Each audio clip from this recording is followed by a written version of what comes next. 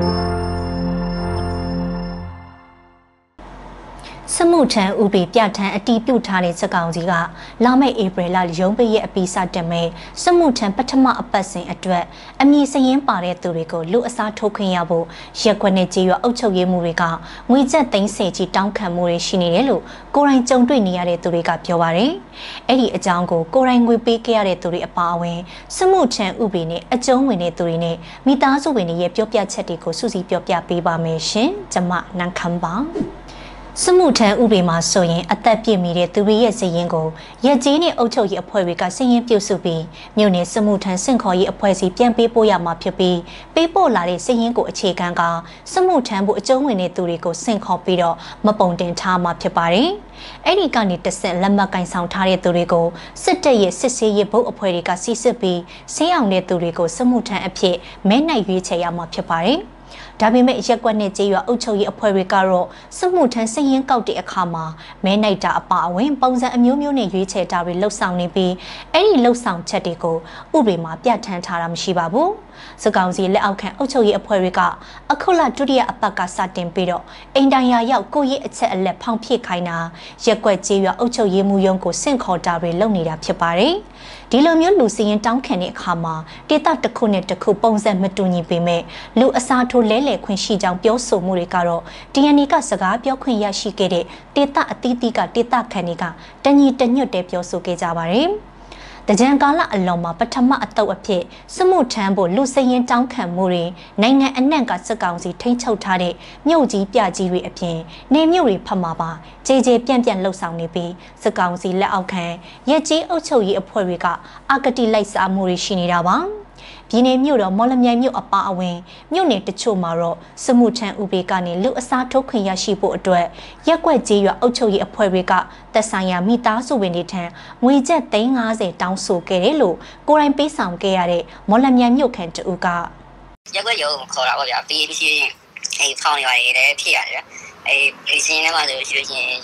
ညီလေးရပါတော့ပထမဆုံးအတုတ်မှာပါတာတဲ့ အစားတော့ပတ်ဆိုင်တဲ့ကိစ္စဘာမှမပြောသေးဘူးဆိုတော့လေအဲနောက်မှရက်ွက်အေးရက်ွက်လူကြီးပဲရက်ွက်လူကြီးအိမ်ကိုရောက်လာညပိုင်းလောက်ပဲရှိမှာပေါ့နော်နင်းတို့ဘာပြောလဲဆိုတော့အနည်းကလေးတွေမပါချင်လို့ရှိရင်ငါတို့သူတို့ဖြည့်ရှင်းပေးလို့ရတော့ဗျာသူတို့လုပ်ပေးလို့ရတယ်ဘယ်လောက်လဲဘယ်လောက်ပြရဆိုတော့သူတို့လူကြီးကိုသူတို့ပြန်မေးရအောင်မယ်ဆိုတော့လည်းပြောရတယ်နောက်၄ရက်လောက်ကြာတယ်ဗျာအဲညှိလို့အဆင်မပြေဘူးတဲ့အဲသူတို့သူတို့ဘက်ကအဲ့လိုပြောရတယ်ဗျာအစားထိုးတဲ့လူကအရန်များနေတယ်အဲတခါတလေတခါလာပြောရဗျာအမေကလည်းအရန်ဆုံးနေတယ်ဟိုပြောရမယ် ဘယ်လောက်ပေးရမလဲပဲအမေကအဲ့လိုပြောရပါတော့အဲငါတို့ဘက်ကအတန်းနဲ့ဆုံးလုပ်မှာပေါ့နော်အမေကအဲ့လိုပြောတယ်အဲ့ဒါ350လောက်ပြီးမှရမယ်ဆိုပြီးပြောတော့ပြောသွားတာပေါ့နော်အဲ့ဒါပေးလိုက်ရတယ်ခင်ဗျဟုတ်ဒါအပြင်တချို့နိုင်ငံသားမှာအလုတ်သွားရောက်လောက်ကင်ဖို့စီစဉ်ထားတဲ့သူတွေနဲ့ငွေကြေးတက်နိုင်တဲ့သူတွေကတော့စစ်ကောင်စီအုပ်ချုပ်ရေးအဖွဲ့တွေတောင်းခံတဲ့ငွေကြေးအတိုင်းကိုလိုက်လိုက်လျော်လျော်ပေးဆောင်ကြတဲ့သူတွေလည်းရှိတယ်လို့ဆိုပါတယ်။ ရန်ကုန်တိုင်းအတွင်းကမြို့နယ်တချို့မှာတော့စမှုထမ်းရမယ်လူစည်ရင်းတွေကိုတက်ဆိုင်ရာမိသားစုဝင်တွေထံရည်ကြီးအုပ်ချုပ်ရေးအဖွဲ့တွေကနေအိမ်ကိုစာပုတ်ကလေးကလူအစားထိုးလဲလှယ်လို့ရကြောင်းတခါတည်းညှိနှိုင်းပြောဆိုမှုတွေရှိနေတယ်လို့ဆိုပါတယ်။အဲဒါနဲ့ပတ်သက်ပြီးတာကေတမြို့ခံတူကသူတို့ပြောတာကတော့ဒီရွေးကအသက်ပြည့်တဲ့ကလေးနှစ်ယောက်ရှိရယ်ပြီးတော့စီးရင်ထဲမှာလည်းပါနေပြီပေါ့နော်ပြီးတော့ရက်ွက်ရုံလည်းမသွားသေး ရက်ွက်ရုံလည်းမတော်သေးဘူး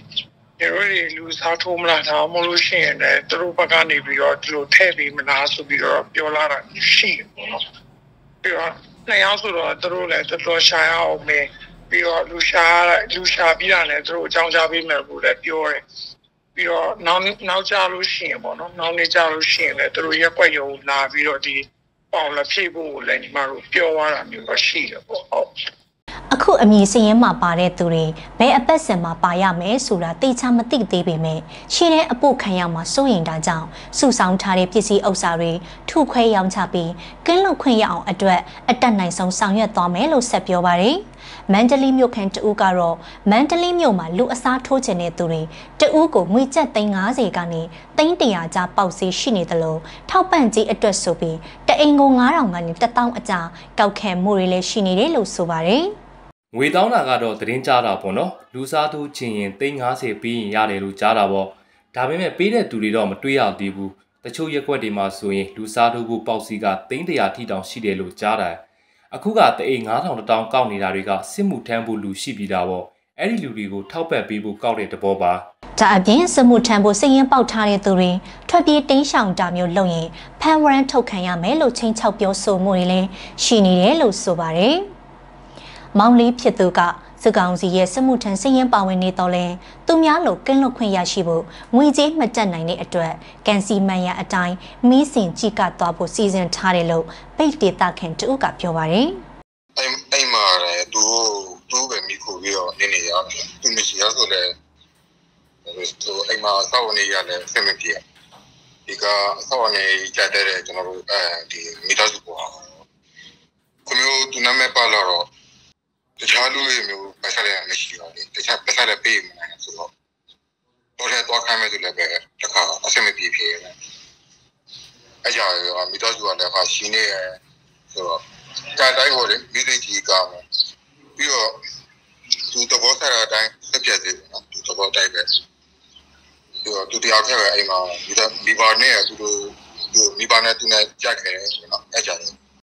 စစ်မှုထမ်းဥပဒေမှာဆင့်ခေါ်ခန့်ချရတဲ့သူတွေဟာကင်းလွတ်ခွင့်ရရှိဖို့လိန်ညာစ조사တဲ့သူတွေနဲ့ဥပဒေအရာဆောင်ရွက်ရတဲ့နိုင်ငံဝန်ထမ်းဖြစ်စေအဖွဲ့အစည်းအဝင်တွေဖြစ်စေမယိုးမဖြောင့်သောလုပ်ရက်တွေလှုပ်ဆောင်မယ်ဆိုရင်ဥပဒေအရာအရေးယူခံရမယ်လို့ဥပဒေမှာပြဋ္ဌာန်းထားပါတယ်။ဒါပေမဲ့စစ်ကောင်စီရက်ကွက်နဲ့ကြေးရွာအုပ်ချုပ်ရေးအဖွဲ့တွေကတော့ကင်းလွတ်ခွင့်ရရှိဖို့ဆောင်ရွက်နေမှုတွေကတော့အာဂတိလိုက်စားမှုတစ်ခုဖြစ်နေတာကိုညှင်းဆန်လို့မရပါဘူး။နိုင်ငံရေးပါတီတစ်ခုဖြစ်တဲ့ပြည်သူ့ပါတီကတော့စမှုထမ်းဥပဒေအရရက်ကွက်နဲ့ကြေးရွာအုပ်ချုပ်ရေးအဖွဲ့တွေဟာစည်ရင်ပြုစုပေးဖို့ရန်တာဖြစ်ပြီးရွေးချယ်အတီးပြုတ်ခွင့်နဲ့မဲနိုင်တာအပါအဝင်စည်ရင်ကနေပယ်ဖြတ်ခွင့်မရှိကြောင်းနဲ့ဥပဒေကိုကျော်လွန်ဆောင်ရွက်တာတွေကိုတားမြစ်အရေးယူပေးဖို့လိုအပ်မယ်လို့ထုတ်ပြန်ကြေညာထားပါတယ်။ DNA ရဲ့နောက်ဆုံးရသတင်းတွေကို DNA ရဲ့ Facebook Page နဲ့ YouTube Channel တို့မှာစောင့်မျှော်ကြည့်ရှုနားဆင်နိုင်ပါတယ်ရှင်။